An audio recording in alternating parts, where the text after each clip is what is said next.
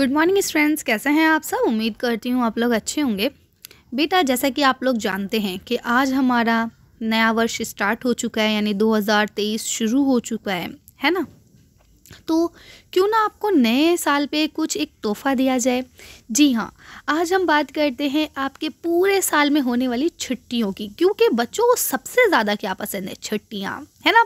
चलिए तो आज मैं आपको बताऊँगी कि जो ये नया वर्ष हमारा शुरू हो रहा है 2023 है ना? हो रहा है नहीं, बल्कि हो चुका है। तो इस पूरे वर्ष में कहाँ कहाँ कौन सी छुट्टियाँ होने वाली हैं? है ना? और कौन सी ऐसी छुट्टियाँ हैं जो हमें मिलने की संभावना है? कौन सी ऐसी छुट्टियाँ हैं जो हंड्रेड परसेंट हमें मिलेंगी ही मिलेंगी? चलिए तो आज हम इस पर बात करते हैं। इस वीडियो को आप लोग पूरे साल तक संभाल के रख सकते हैं। इसे डाउनलोड कर लीजिएगा, क्योंकि ये छुट्टी ये जो आपकी वीडियो है, ये आपका पूरा काम आने वाली पूरे साल कि आपको कब कब स्कूल जाना है, कहीं आप घूमने जाना चाहते हैं तो कब आपकी स्कूल की छुट्टियाँ हैं, ये आपको सब पता चल जाएगा सिर्फ़ एक छोटी सी वीडियो में। चलिए तो हम लोग शुरू करते हैं। अगर आप चैनल पे नए हैं तो चैनल को सब्सक्राइब कर लीजिए, लाइक कर दीजिए वीडियो को और शेयर कर लीजिए अपने फ्रेंड्स के साथ। चलिए तो हम लोग देखते हैं। देखिए बेटा, आपको पता है, संडे हमारी छुट्टी रहती है, इसमें तो कोई दो बात है नहीं। दूसरी बात ये होती है कि सेकंड सैटरडे हमेशा आपका ऑफ़ रहता है है ना? और लास्ट वर्किंग डे पे आप लोगों का हाफ़ डे होता है। अगर आप टेंथ और ट्वेल्थ क्लास में हैं तो आपका हाफ़ डे नहीं होता है राइट चलिए तो अब देखिए, यहाँ पे हम बात करते हैं ऐसी हॉलीडेज़ जो हमारी कह जाती हैं गेजेटेड हॉलीडेज़ जो हंड्रेड परसेंट छुट्टियाँ होती ही होती हैं। तो सबसे पहले जो शुरुआत होती है, वो आपकी 26 जनवरी से होगी, है ना? 26 जनवरी हमारा गणतंत्र दिवस है, ये आपका वेनसडे को पड़ रहा है तो आपकी इसकी छुट्टी हंड्रेड परसेंट रहेगी। सॉरी थर्सडे है ना? बृहस्पतिवार है ना? थर्सडे को पड़ रहा है, ठीक है? उसके बाद आपकी दूसरी छुट्टी जो होगी, वो होगी आपकी होली को। ठीक है? होली की, यानी कि कब पड़ेगी? आठ मार्च की, बुधवार है ये ये वेनसडे है, ठीक है? फिर रामनवमी की तीस मार्च को पड़ेगी। उसके बाद महावीर जयंती की चार अप्रैल को पड़ेगी। इसके बाद आपके गुड फ्राइडे की सात अप्रैल को है, फिर ईद उल फित्र है बाईस अप्रैल की। बुद्ध पूर्णिमा है पाँच मई की। तो अब आप देखते चलिए, ये आपकी छुट्टियों की लिस्ट है, ठीक है? ईद उल अजहा, ईद उल जोहा जिसे हम लोग बोलते हैं, बकरीद जिसे बोला जाता है, उसकी उनतीस जून को उनतीस जून है उसकी छुट्टी आपकी।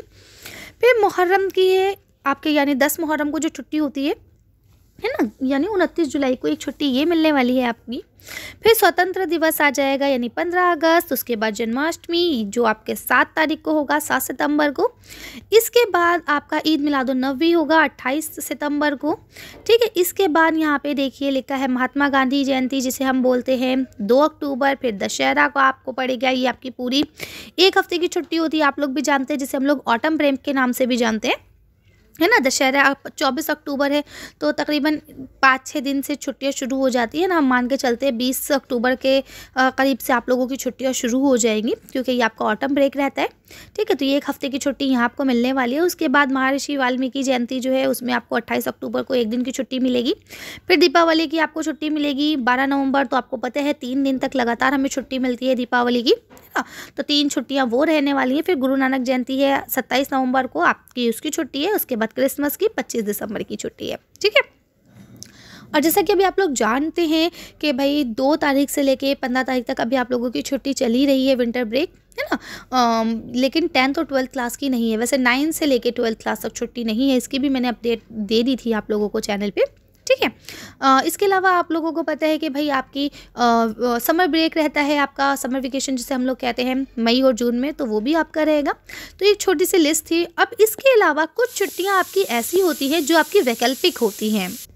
वैकल्पिक का मतलब ये होता है बेटा कि ये छुट्टियाँ आपको आ, कई बार तो हंड्रेड परसेंट दी भी जाती हैं कई बार इन छुट्टियों को रद्द कर दिया जाता है कि नहीं ज़रूरी नहीं है कि आपको छुट्टी दी जाए। है ना? तो यहाँ पे ये छुट्टियाँ आपको हैं जो आपको दिखाई जा रही है, भाई एक तारीख को आपको नव वर्ष की मिल गई। इसके बाद चौदह जनवरी को आपकी मकर संक्रांति की छुट्टी होगी, है ना? पोंगल की छुट्टी हो भी सकती है, ये तो रविवार है, वैसे भी हमें इस छुट्टी का कुछ नहीं करना, है ना? इसके बाद बसंत पंचमी की आपकी छुट्टी होगी, है ना? हज़रत अली के जन्मदिन की छुट्टी हो भी सकती है, नहीं भी हो सकती है, क्योंकि इस दिन गुरु रविदास जयंती भी है तो हो सकता है इसकी छुट्टी हो जाए, लेकिन फिर वही बात कि रविवार को है हमें क्या ज़रूरत है इसका, है ना?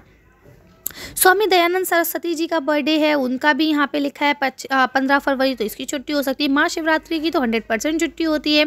शिवाजी जयंती की भी छुट्टी होती है, होलिका दहन, यानी सात मार्च को, यानी छोटी होली की, उसकी भी छुट्टी होगी आपकी, है ना?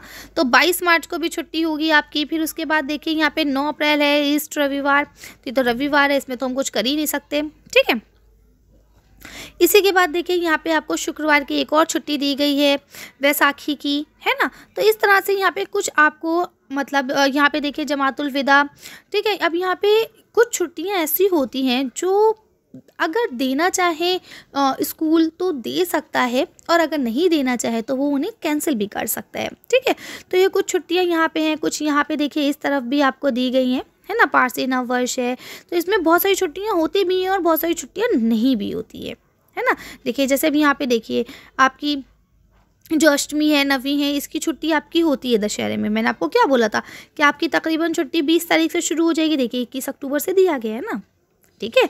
और फिर दशहरा दसवीं में होता है। ठीक है? तो ये चीज़ें यहाँ पे, ये आपको कुछ ऐसे त्यौहार हैं जिनकी छुट्टियाँ हो भी सकती हैं और नहीं भी हो सकती बाकी जैसे भी स्कूल से अपडेट आता है, टाइम टू टाइम आपको अपडेट अगर चाहिए तो उसके लिए आप हमारे साथ जुड़ सकते हैं हमारे चैनल से। टेलीग्राम को आप लोग ज्वाइन कर सकते हैं, वहाँ पर आपको अपडेट मिल जाते हैं। ठीक है? चलिए तो ये छोटी सी वीडियो थी जो हमने छुट्टियों के लिए बनाई है। ठीक है? तो अब आप लोग इसको फॉलो कीजिए, इसको अपने पास संभाल के रखिए और इसी के हिसाब से अपनी कहीं भी घूमने की तैयारी है, किसी भी असाइनमेंट को पूरा करने की तैयारी है तो यहाँ से कर सकते हैं। चलिए तो उम्मीद करती हूँ वीडियो पसंद आई होगी। अगर पसंद आई है तो लाइक और शेयर कीजिए, चैनल को सब्सक्राइब कीजिए। Thank you for watching